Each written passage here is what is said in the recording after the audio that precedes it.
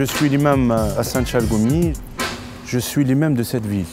Cette ville, s'il avait une histoire, l'histoire de déportation du peuple juif. Je veux être, en tant qu'être humain, de défendre cette histoire.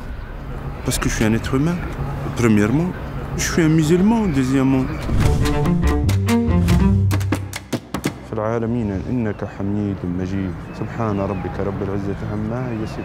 Aujourd'hui, il y a une lâcheté face aux fanatiques.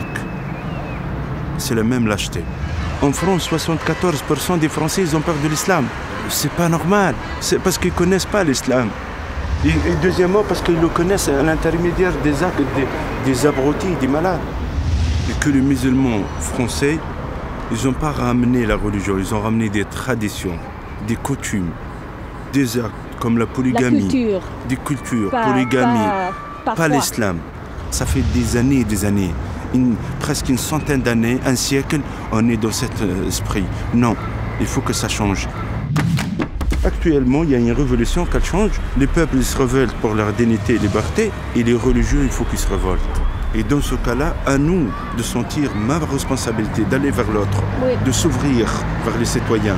Comment nous, nous pouvons réveiller le Oumma On le réveille d'une manière de dire, réfléchissez bien, l'humanité est la peur de l'islam, et la peur de vous.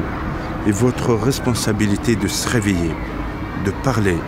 Quand vous êtes révolté contre vos gouverneurs, contre certains coutumes et lois chez vous, aujourd'hui, il faut que les hommes de foi, la Ummah, elle dit que cet islam ne m'appartient pas.